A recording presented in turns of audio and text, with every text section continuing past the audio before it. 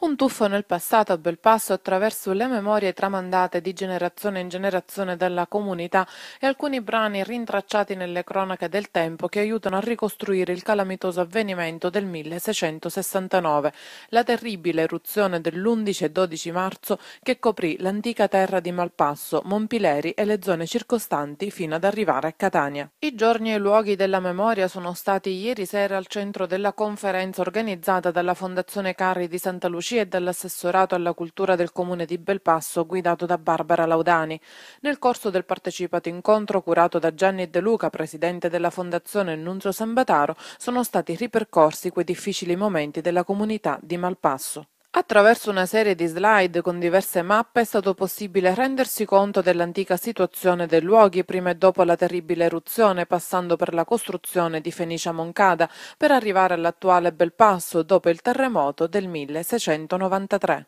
Particolare risalto è stato dato alla grande fede delle comunità del tempo che hanno sempre invocato la protezione della Vergine Siracusana, patrona delle genti di Malpasso sin dal 1636, e ai luoghi sacri che ancora oggi raccontano il rapporto di timore e fede delle genti dell'Etna con il vulcano, come Monpileri, nei pressi del quale si trovano oggi gli unici resti di un'antica chiesa della Misericordia di Malpasso. Il percorso rievocativo proposto dalla Fondazione proseguirà infatti domenica con il cammino penitenziario iniziale di fede e di memoria da Monpileri fino ai resti della vicina chiesa di Malpasso con le reliquie di Santa Lucia portate dal parroco della chiesa madre della cittadina etennea.